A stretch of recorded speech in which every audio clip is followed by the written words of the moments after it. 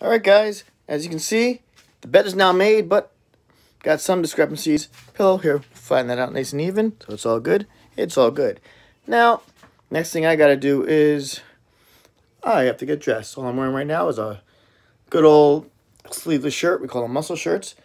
First, I'm going to do some push-ups in the morning or in the afternoon. You can even watch me.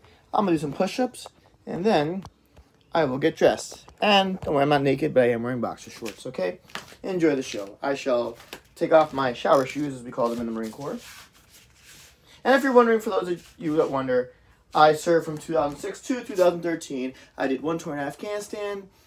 I finished off as an E5 sergeant. All right, so let's begin. Here we go.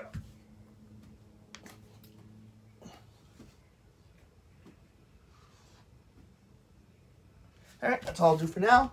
All right, guys, now I did my push-ups. Now it's time for me to get dressed.